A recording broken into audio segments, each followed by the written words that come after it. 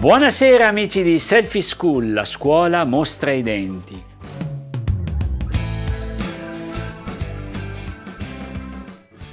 Oggi cari telespettatori vogliamo parlare di una lingua che dicono morta ma in realtà è molto viva ed è il latino, questo scoglio che tanti studenti incontrano nella, scuola. Ci aiuta una docente, una professoressa, la professoressa Giulia Artioli che viene nei nostri studi da Mantova. Buonasera professoressa. Buonasera, buonasera a lei. Giulia Artioli è laureata in filologia moderna presso l'Università del Sacro Cuore eh, con sede a Brescia con una tesi sperimentale su filologia italiana e oggi insegna lettere classiche presso il liceo Virgilio di Mantova.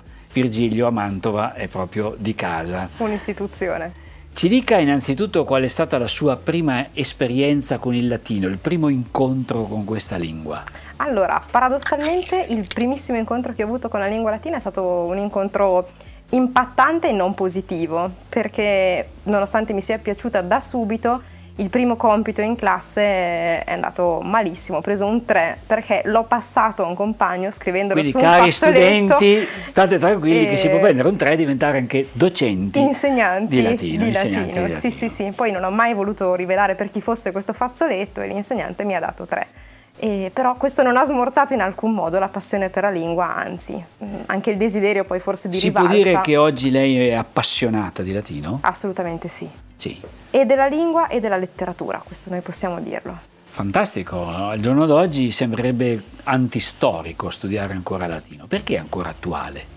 Ci sono tante motivazioni in realtà per cui è ancora attuale. Innanzitutto noi lo continuiamo a parlare, questa è una sfida che, che, lancio anche a lei. Se io le dicessi che il latino l'abbiamo anche nel carrello, lei mi spieghi a cosa pensa? Al carrello sì. della spesa? Esatto, il latino l'abbiamo anche nel carrello della spesa, quando andiamo a comprare i gelati, i gelati di qualche marca particolare, no? Che vuol dire le cose fredde. In latino in realtà noi lo abbiamo nel carrello, lo abbiamo nel quotidiano, lo abbiamo nelle nostre etimologie, ma lo continuiamo anche a parlare perché alcune parole rimangono invariate, quindi insomma è attuale nel nostro linguaggio e poi di riflesso è attuale nel Cosa nostro troviamo pensiero. nel carrello di latino? Perché mi sfugge... Non so se possiamo dirlo, sì? possiamo dirlo. L'algida. Eh... Ah, giustamente, è una sì? parola latina, anche se sì, è una marca nota. Che significa le cose fredde. Cioè noi lo abbiamo regolarmente nel carrello, anche le creme per il viso, la nivea.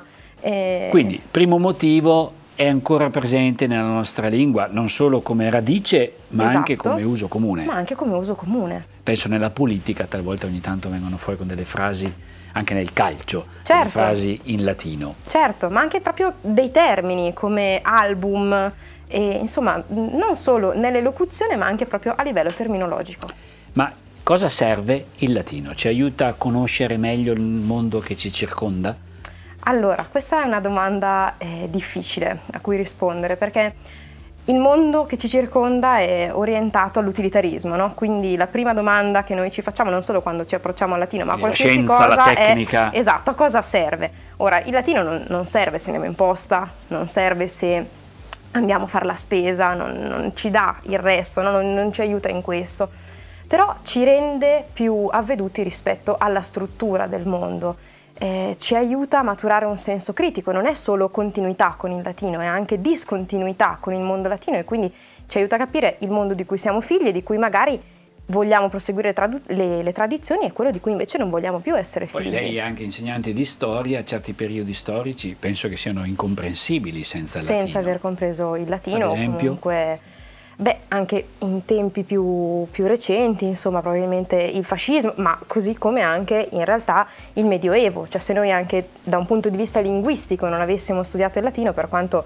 il latino medievale sia un po' maccheronico e sia rivisitato, ci renderebbe impossibile la Tra l'altro comprensione in di buona Italia parte siamo della circondati da iscrizioni latine dappertutto, davanti alle chiese, nei certo. cimiteri, sui monumenti romani, quindi conoscere anche come funzionava la lingua penso sia interessante anche per gli studenti di oggi. Certo, per loro ecco, quello diventa il riscontro forse più pratico, quello in cui quando andiamo in gita e ci imbattiamo in un'epigrafe si tratta di riuscire a tradurla, a decifrarla. O... Ma ci dica un po', questi studenti di oggi, questi ragazzi, social, cellulare in mano, come si approcciano al latino? Dicono uffa, una cosa che viene dal passato o qualcuno riconosce che è interessato? È difficile farli appassionare perché appunto ha un riscontro meno pratico di altre discipline però quando si entra nel meccanismo in realtà appassiona, anche perché diventa una sfida con se stessi. Il latino è logica, attiva la stessa parte cerebrale che attiva la matematica, per intenderci. Ecco, ci spieghi questo raffronto perché non è immediato.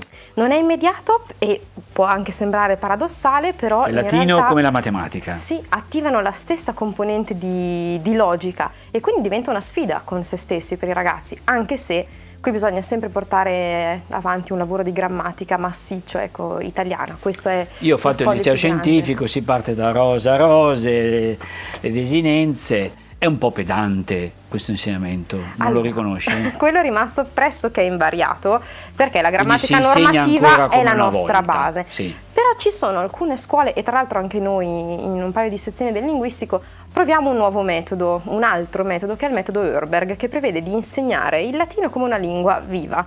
Quindi non si parte da rosa a rose, si parte da un dialogo. Come fosse l'inglese, cioè lei parla in latino in esatto. classe. La Fantastico. finalità di questo percorso è arrivare a parlare il latino, che era un po' l'inglese dei tempi, no? Quindi si tratta di ripristinare un valore che adesso si è perso, ma che un tempo era... Hanno fatto anche dei film in latino, penso a Mel Gibson. Ah, certo. Certo. Quindi è interessante questo uso moderno, diciamo, di, di una lingua così antica. In che senso ha influenzato la lingua italiana? Si dice sempre che l'italiano viene dal latino, come sì. tante altre lingue, il francese, lo spagnolo. Certo. Cosa è rimasto certo. della struttura della lingua? Allora, noi diciamo tendenzialmente che l'italiano deriva dal latino. In realtà i linguisti su cui ho studiato all'università dicono che l'italiano continui il latino, no? Quindi è come se noi continuassimo la lingua di Dante, l'italiano che noi parliamo oggi non è più l'italiano di Dante, però è, è, la lingua. stessa lingua, non è un'altra lingua, è una lingua che si è evoluta sulla base poi chiaramente delle esigenze dei parlanti, dei territori. Ma lo possono dire questo anche i francesi? E loro hanno cambiato però in realtà qualcosina, hanno conservato l'etimologia, forse quella deriva dal latino, non la continuano. Noi italiani abbiamo il vantaggio. E ci spieghi proprio... perché questa, eh, questa continuità tra latino, una lingua che se noi sentiamo uno se io fossi in classe sua e sento lei parlare in latino non è che capisco immediatamente. Certo. E l'italiano sembrano molto diverse oggi. Certo, allora è cambiata anche la struttura, noi sappiamo che il latino ad esempio segue le declinazioni, noi è un sistema che abbiamo perso, non abbiamo una lingua che si basa sulle desinenze ma anche sull'ordine no, delle parole, sulla sequenza logica e il latino in questo senso noi l'abbiamo perduto. Però proprio da un punto di vista delle radici o della continuità terminologica stessa a noi garantisce proprio un, un fil rouge che per altre lingue invece, pur essendo neolatine, non c'è più. Quindi secondo lei in tutte le scuole bisognerebbe insegnare un po' di latino? Perché attualmente Io. si fa solo liceo scientifico, classico. Linguistico e poi scienze umane, ma poi oh. per il resto non, non, si conosce più. Io credo di sì, ci sono anche delle proposte di legge di ripristinarlo alle scuole medie e forse non, non sarebbe un male, adattandolo chiaramente al bacino d'utenza, non sono più le scuole medie di anni fa, il livello di anni fa, insomma tutto sta cambiando, non necessariamente in peggio, si sta solo evolvendo no? la situazione, la, la società, i ragazzi e quindi forse riadattando all'età stessa la lingua si potrebbe... Riesci a fare giocare i ragazzi col latino? Sì. Sì, sì, noi creiamo dei giochi. Allora, in questo viene in aiuto la tecnologia perché ci sono delle piattaforme su cui è possibile creare proprio dei giochi che possono diventare eh, delle ruote della fortuna, che possono diventare i giochi delle tre carte, però insomma per non ripetere come diceva lei rosa rose in maniera esclusivamente mnemonica si può ricorrere a qualche, a qualche espediente. Questo sì. Fantastico, quindi i ragazzi possono imparare giocando. Dopo un po' di anni che loro hanno studiato il latino, che idea se ne fanno? Dicono, oh, finalmente è finita? O qualcuno se ne innamora, come ha fatto lei, nonostante il 3 della sua prima esperienza iniziale. Io credo che mh, esistano entrambe le categorie, c'è chi vive come una liberazione l'abbandono del latino e chi invece se ne innamora e lo coltiva. Penso che però in tutti lasci qualcosa, c'è anche in chi non ne può più, forse inconsapevolmente, forse inconsciamente, ha lasciato qualcosa. Mi spiego meglio, quando noi andiamo a tradurre e scegliamo un termine anziché un altro, apprendiamo un meccanismo che poi in maniera inconscia, in maniera implicita, noi ci portiamo avanti per tutta la vita nel momento in cui facciamo una scelta. Quindi è un processo logico che entra dentro di noi, un modo per costruire anche le frasi. Oggi i giovani abituati con gli sms e i messaggini veloci forse hanno perso questa capacità logica. Sì, poi hanno mh, più che altro avuto degli strumenti che si sono sostituiti a loro, no? perché abbiamo il correttore che ci corregge la grafia, il suggeritore dei termini, insomma, quindi è un lavoro quello sul latino che se fatto bene ci permette di eh, parallelamente lavorare sull'italiano e arginare poi queste, queste, criticità, cioè riuscire a implementare il proprio lessico e forse a accantonare il suggerimento del, del nostro correttore a farcela da soli. Professoressa Artioli ci sta incuriosendo molto su questo latino, scopriamo insieme cosa può esserci utile nella vita di tutti i giorni anche per noi adulti, ma lo scopriamo subito dopo la pausa, ora spazio alla regia.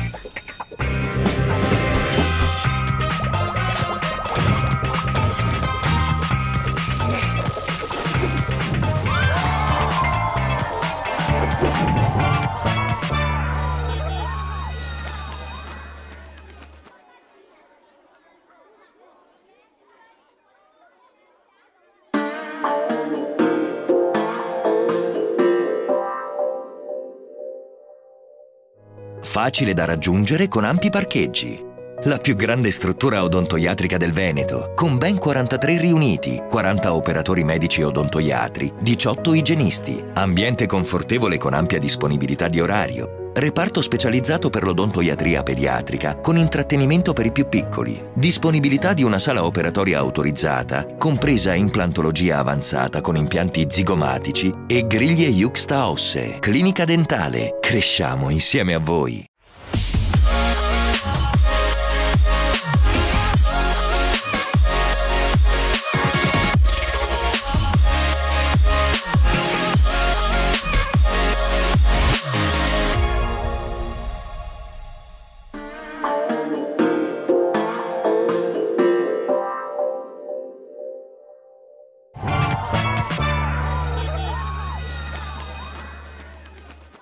Ben ritrovati amici di Selfie School, la scuola mostra i denti. Oggi cari telespettatori ci stiamo imbattendo nella lingua latina e stiamo scoprendo che non è affatto una lingua morta, è una lingua viva, addirittura in classe giocano, vero professoressa Artioli? Confermo. In latino, e anche la tecnologia può venire in aiuto. Diceva che ci sono delle app, delle, eh, perfino i fumetti fanno in latino. Sì. Ma eh, oggigiorno i ragazzi quando parlano, parlano a monosillabi, sono abituati dagli sms, da whatsapp, dai messaggini. Il latino invece tutte queste belle frasi ciceroniane molto lunghe. Non è un modo di parlare totalmente alieno rispetto a quello che loro vivono oggi. Allora, è un metodo sicuramente differente, anche perché è una lingua scritta, quella che noi conosciamo, quindi è chiaramente già filtrata, già rielaborata e ordinata, anche perché c'è, stato il modo di, di poterla rivedere. Quindi è una lingua completamente diversa rispetto a quella che possiamo, che possiamo, sentire noi, che possiamo sentir parlare noi dai nostri ragazzi. E anche nello scritto loro non concepiscono la scrittura di un manuale, di un libro, concepiscono la scrittura di un messaggino, di un'email. Però la lettura di questi confronti permette di eh, costruire in maniera ipotattica, cioè con delle subordinate, in maniera proprio conseguenziale e logica il pensiero. È qualcosa che se non viene fatto, cioè un confronto che se noi perdiamo, progressivamente poi perdiamo anche come capacità nella lingua italiana. E a proposito di tecnologia, oggi viviamo in un'epoca di intelligenza artificiale, cioè GPT, che non so sa il latino, eh? Non sa il latino? No. Ecco, pensavo che invece i suoi studenti utilizzassero questi no. metodi per avere magari delle belle traduzioni. No, abbiamo fatto un esperimento insieme, perché io mh, mm, non sono in realtà refrattaria o chiusa all'idea dell'intelligenza artificiale, però ho detto proviamo a vedere come è messa l'intelligenza artificiale con il latino. E Quindi lei solo... docente ha interrogato l'intelligenza artificiale Esatto, anche con i ragazzi, complici sì. i ragazzi non solo non sa tradurlo, o meglio, mh, mm, traduce in maniera un po' raffazzonata, ma non sa scriverlo. Quindi se io chiedo di convertire in latino una frase, non, non sa farlo perché applica filtri linguistici Quindi contemporanei. Tutte le lingue del mondo, ma non il latino. E neanche il greco. E sì. neanche il greco, ah, peccato. Sì, sì, perché sono filtri Eppure ha prodotto ne, nel, nella storia delle opere letterarie meravigliose. Lei eh, viene da Mantova, c'è Virgilio. Qual è l'opera latina che ritiene imprescindibile nella lettura da parte dei suoi studenti e anche per se stessa? Una lettura che mi ha illuminata, che poi probabilmente mi ha anche portata a scegliere lettere classiche, è stata la lettura di Seneca, che si fa in quinta, è un autore, anche un filosofo in realtà, e nel suo testamento spirituale, che sono le lettere a Lucidio, eh, si raccomanda con questo, con questo discepolo, dà alcuni precetti dà alcuni consigli e a me è sempre piaciuto molto perché non restituisce l'idea del filosofo, dell'autore cristallizzato e morto chissà quanti millenni fa, ma restituisce l'idea di un uomo mm, incoerente che predica il vegetarianesimo però poi dice mi manca la carne e questo secondo me deve fare la letteratura, avvicinare all'uomo. Lei è un amante della filosofia stoica. Sì. e di Seneca in particolare. Di Seneca sì. in particolare, sono Però dei maestri anche per, per, la nostra vita. Io mi ricordo quando facevo il liceo, i docenti ci davano delle eh, traduzioni da fare con opere sempre a sfondo un po' moralistico, c'era sempre un, un messaggio buono, si usa ancora a fare così. In realtà sta cambiando anche il sistema della manualistica, forse perché si vuole cercare di avvicinare i ragazzi a questa lingua che già di per sé, come dicevamo in apertura, sfida un mondo che non la rende così appetibile o competitiva e quindi anche i manuali stanno cambiando e non è più solo la favoletta o il fine moralistico, ma anche appunto un, un, estratto di una lettera in cui si vede l'uomo, perché a questo dobbiamo pensare, che sono uomini, non autori di millenni. E fa. certo, sono persone come noi che esatto. hanno riflettuto sulla vita, sulla città, sulla storia. Quali sono i collegamenti tra il latino e le altre materie? È un'isola a parte il suo insegnamento o riesce a creare comunque degli agganci. Diceva prima perfino con la matematica. Esatto, in realtà è una lingua trasversale e anche la scuola sta cercando di andare in questa direzione, cioè non si insegna più una disciplina per compartimenti stagni, ma cerchiamo di collaborare anche fra colleghi e quindi di impostare le cosiddette UDA, quindi delle unità di apprendimento in cui uno stesso argomento viene affrontato in varie materie. Quindi l'amore che noi troviamo nella letteratura latina lo possiamo poi indagare nella letteratura italiana, francese, inglese, vedere appunto i punti di continuità o di frattura, perché non tutto, come dicevamo prima, è in continuità. Oppure ci sono anche delle attinenze con l'ambito scientifico. Il lessico scientifico è prevalentemente latino, latino eh. quindi possiamo fare la dei collegamenti anche dei, dei esatto, con la biologia, con, con scienze, oppure in matematica, perché il criterio logico che noi applichiamo è davvero lo stesso. Mi metto nei panni di un, di un ragazzo che la sta ascoltando, allora frequenta le sue lezioni, tutto bello, il latino mi piace. Secondo lei, se si ponesse la domanda come posso io utilizzare oggi il latino? Quali sono i campi di utilizzo della lingua latina per cui vale la pena anche coltivarlo? Allora, innanzitutto la lingua italiana, quindi studiare il latino permette di essere più padroni della lingua che noi mm, abbiamo, eh, abbiamo la fortuna di, dice, di poter parlare. Più conosce il latino, più conosce anche l'italiano. Sì, sia come meccanismi, come dicevamo prima, no? meccanismi logici di organizzazione del pensiero e conseguentemente del discorso, sia proprio come capacità La terminologica. La consecutio temporum, esatto. una volta, per esempio. esatto, ma anche l'uso dei connettivi, quindi sì. in primo luogo, in secondo luogo, c'è un pensiero strutturato che poi trova un discorso strutturato, ecco, come, come esito. Quindi in primo luogo io direi la padronanza della lingua italiana e poi altri riscontri mh, mm, pratici. Citazioni, per esempio? Eh, esatto, possono essere le citazioni e che magari insomma eh, sono quelle con cui far colpo anche su qualche ragazza, no? Perché pullula di... non so se una ragazza si innamori di un eh, ragazzo eh, che fa una citazione latina. No, però anche i cioccolatini hanno quelle frasi di Ovidio, insomma, quindi no, eh, scherzi a parte, però insomma in ambito anche giuridico, dovessi pensare a una scelta anche in vista futura, eh, il lessico medico è, è di, pertinenza le, di, pertinenza latina o, o, greca o anche, Quindi anche per eh, conoscere le scienze serve il latino. Sì, è una base per tantissime, tantissime realtà, è una porta per, per tante strade, io credo. Lei è un insegnante giovane, conosce i giovani di oggi, i ragazzi di oggi. Qual è la difficoltà più grande che loro provano nell'approcciare questa lingua morta ma insomma ancora viva. Ancora viva. Io penso che sia proprio la grammatica italiana, questo è il nostro grande scoglio. Perché, perché non, lo, non conoscono la grammatica italiana, quindi... Arriviamo non padroni della grammatica italiana ancora e in prima superiore intendo. Questo è un deficit della scuola primaria, e quindi. Questo è un deficit forse in realtà anche generazionale, cioè senza puntare il dito rispetto a un ciclo di istruzione, è un problema un po' più ampio, cioè anche insegnare grammatica in un mondo che ci vuole con una grammatica, con una sintassi così spezzettata è difficile. Quindi forse il primo scoglio proprio è la grammatica italiana, la comprensione appieno e a fondo della grammatica italiana per poi riuscire a comprendere da la grammatica proviene, latina. Eh, appunto l'italiano proviene dal latino, quindi se, se, se non conosciamo quella italiana difficilmente Esatto. possiamo anche ricostruire. Esatto. Secondo lei il latino ha futuro in questo mondo? Perché vedo che da un po' di anni il, il percorso scolastico tenta di mangiare ore, spazi, qualcuno vorrebbe abolirlo del tutto.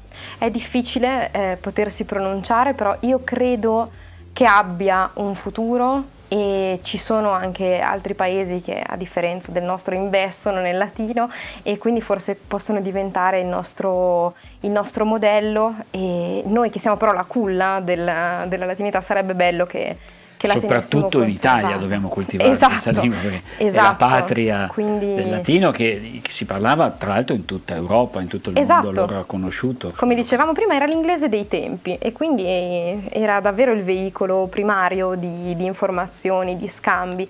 E quindi io spero che nonostante la sfiducia generale nelle lingue classiche, ci sia margine per coltivarlo ancora a lungo. Pensi che anni fa mi è capitato di fare un viaggio in Russia e con un, polacco che ho incontrato là in Russia, non sapevamo nessuno dei due, l'inglese, nessun'altra lingua, abbiamo parlato in latino. Per una settimana io ho parlato latino con questa persona che, che poi siamo rimasti in amicizia. Adesso voglio sentire però il suo latino, latino eloqui. Ci dica una bella frase in latino, una citazione. Eh, potrei salutare in latino ave Sì. atque vale, dicendo quindi arrivederci e statemi bene. Ci, Mm, ci che- ripete la frase? Ave atque vale. Ave atque Vale, Vale. che è proprio una locuzione con cui si concludono le missive, le lettere e ci si saluta e il, il saluto finale è proprio stammi bene. Ecco, questo è, è il senso. Benissimo, quindi i ragazzi che sono in ascolto e vogliono imparare l'arsamatoria latina Esatto. possono salutare la loro ragazza dicendo vale atque, no, ave atque Atque. vale. Perfetto. E così salutiamo anche voi cari telespettatori, ringraziamo la professoressa Giulia Artioli per questa sua passione per il latino e per averci aperto questo mondo, speriamo di aver fatto innamorare altre persone a questa lingua che eh, sono le nostre radici e anche, possiamo dirlo, il nostro presente. Grazie ancora. Grazie a voi, arrivederci.